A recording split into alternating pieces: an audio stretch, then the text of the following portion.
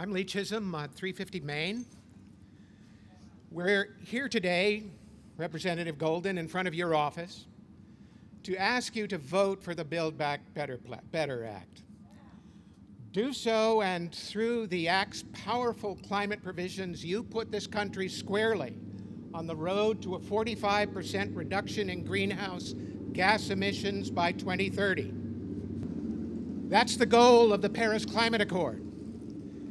That's the goal of the IPCC report.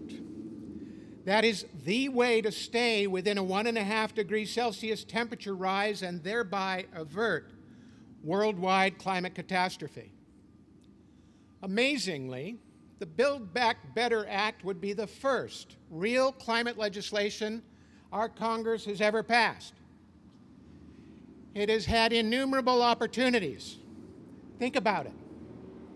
In 2005, Hurricane Katrina slammed into New Orleans, crumbled the levees, and killed 2,000, over 2,000, mostly black, brown, and poor people.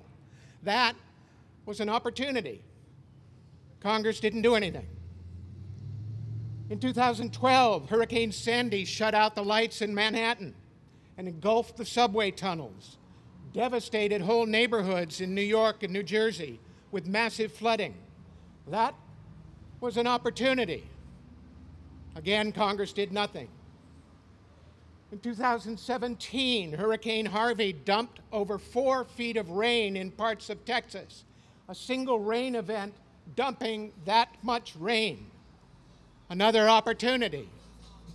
Congress did nothing. The list, of course, could go on. Wildfires, floods, massive hail and wind storms, tornadoes, hurricanes, droughts, freak deep freezes. There have been over 200 climate related disasters costing more than a billion dollars each in damage since the year of Hurricane Katrina 2005. That's easily 200 opportunities for Congress to have done something. Congress did nothing. We have just now completed, standing here in Lewiston in October of 2021, the hottest summer ever recorded in the United States. The prior year, 2020, witnessed more major weather disasters than in any year before, 22 of them to be exact, and things are getting still worse. This past June, a billion intertidal sea creatures perished in the sun at low tide during an unheard of Pacific Northwest heat wave, which also killed hundreds of human beings. This August, people drowned in their basement apartments during flash floods in New York City. A first ever official water shortage was also declared in August by federal regula regulators for the Colorado River, where water levels in the country's biggest reservoir Lake Mead, have dropped 140 feet. Fires in the Arctic, the Arctic of Siberia, have been raging throughout the summer. Last winter, a deep freeze in Texas crippled its electric grid, freezing people to death. A massive rainstorm and the highest levels of the Greenland, Greenland ice shelf, first rain there ever seen, fell this summer for the first time.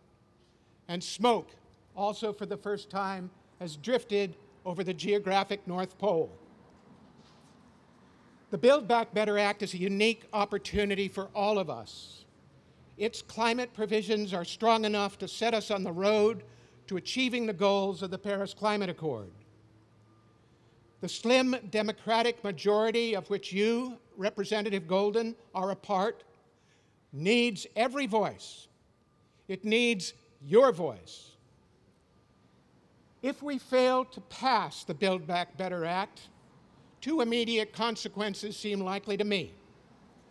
First, at the COP26 climate conference set, take, set, to take place this November in Glasgow, Scotland, a vitally significant international conference that has been called humanity's last best hope, we'll leave the nations of the world looking at us and thinking, well, you didn't do anything to save the world's climate.